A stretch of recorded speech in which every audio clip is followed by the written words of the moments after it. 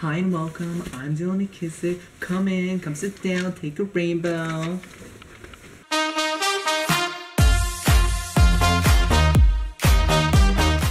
Obviously, the rainbow represents the seven deadly sins because the rainbow has seven colors, so clearly that's why most of us are going to hell.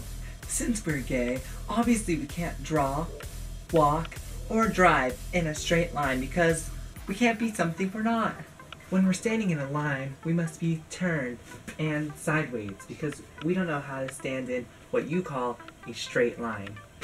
We can't walk into churches or any holy places because we will, or we are, fire of what the heterosexual youth call too lit or flames. If we're not making eye contact when you're right in front of us, it's because we can't look straight. That's why we roll our eyes so much to resemble the arch of our god, the rainbow. We only wear skinny jeans, not because we look great in them, but because we're not allowed to wear straight jeans. You may be thinking, well, you have straight hair, but I style my hair, so it's not hashtag basic or hashtag straight. You may be asking why I'm cutting in such a pattern.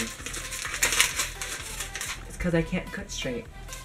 But there are some things that are straighter than the heteros, like our teeth, our abs, and our dialect. You know, when our tones are pointed, work, yas, work, hunty, work, work. We do agree on one thing, hetero males, is that girls have cooties. That's why we like guys. I guess you could say I was quite straightforward, but it was gaily said. And I don't think straight because my brain is gay. Like, comment, subscribe any of the videos and things you want to see me do. If you didn't like this video, then that sucks for you. Peace out, people. Boy.